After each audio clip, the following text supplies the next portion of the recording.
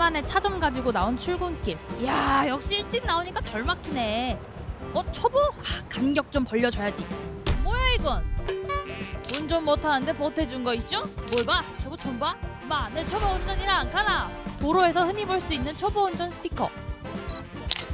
아니 뭐 뜻은 없고 그냥 재밌으라고 붙인 거고 진짜 문신은 있으신 거. 아니 문신 없어요 문신 없어 이런 스티커를 붙이기 시작한 이유가 그저 내가 초보다 하고 TMI를 날리기 위해서는 아닐 겁니다.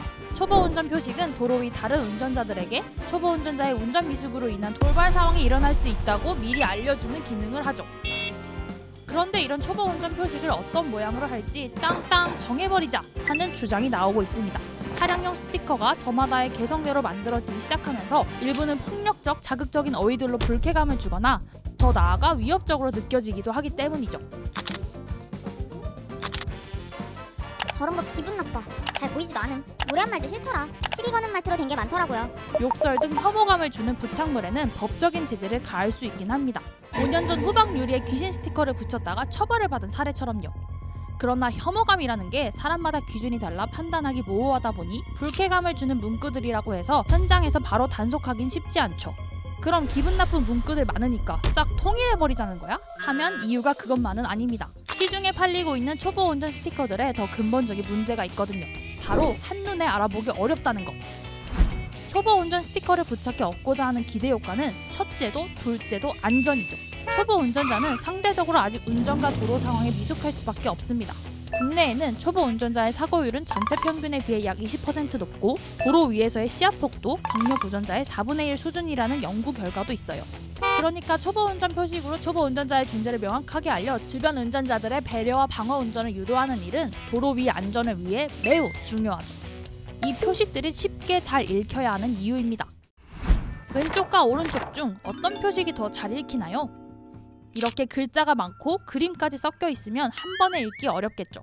그래서 해외에서는 양식을 단순화하고 기호화해 한눈에 쏙 들어오는 표식을 쓰고 있습니다. 프랑스에서는 면허를 취득하고 3년 동안은 빨간 A가 그려진 딱지를 붙여야 하고 영국은 임시면허와 초보운전 표식 모두 뚜렷한 색과 모양의 규격을 법으로 정해놨죠.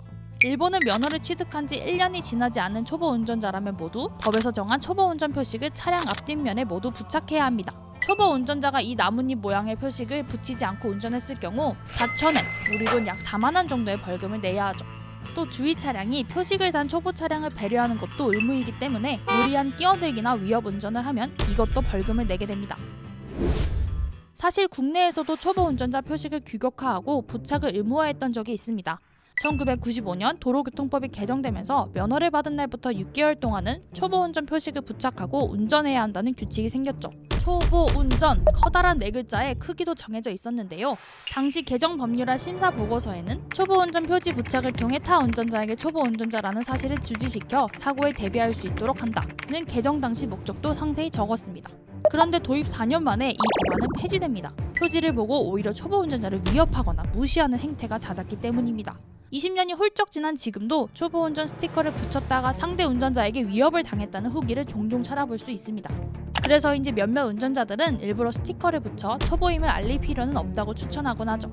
이런 이유에서 표식을 규격화하더라도 의무 부착은 하지 말자는 의견이 적지 않아요. 제도 개선도 중요하지만 서로를 배려하려는 노력이 필요한 거죠.